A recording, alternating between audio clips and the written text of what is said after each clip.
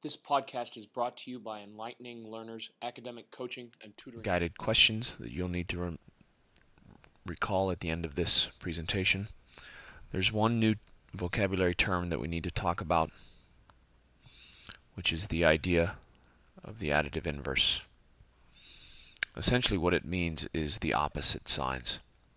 So, the additive inverse of negative 8 is going to be a positive 8. The additive additive inverse of a 2 is going to be a negative 2. The additive inverse of s would be a negative s.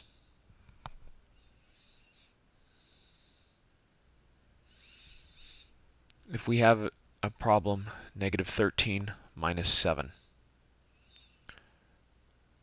we can use the additive inverse to say negative 13 plus a negative 7.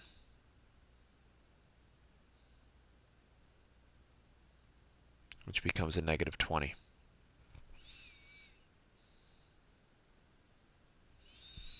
Now, in this example, we've got a problem 17 minus a negative 8. We don't use the double negatives. And essentially, this negative, this minus sign in front of the parentheses is telling you to find the opposite of everything inside these parentheses. So we can use the additive inverse to say 17 plus a positive 8 or 17 positive 8 and it becomes 25.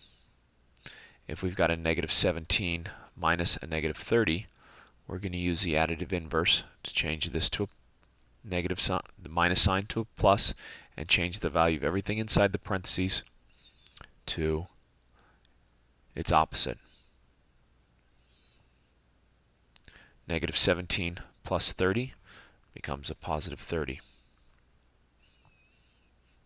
So an ex another example would be 4 minus 2 plus 4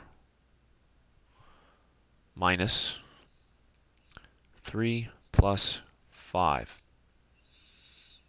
We can go ahead and combine these. 4 minus 2 is a 2 plus 4 minus. We can use the concept of the additive inverse to change this to a plus sign and change these values to its opposite.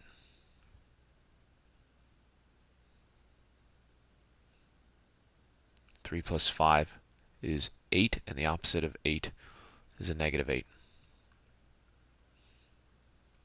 And from that point, we've got 2 plus 4, which is 6, minus 8.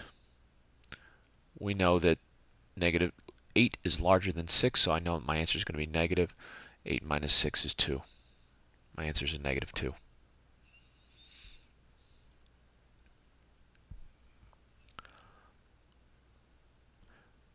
Remember that when you see a negative sign in front of parentheses, it's telling you to find the opposite of everything inside these parentheses. So my next step to simplify this would be to change this to a negative 3 because minus a negative a positive 3 become a negative 3 and minus a positive x becomes a minus x.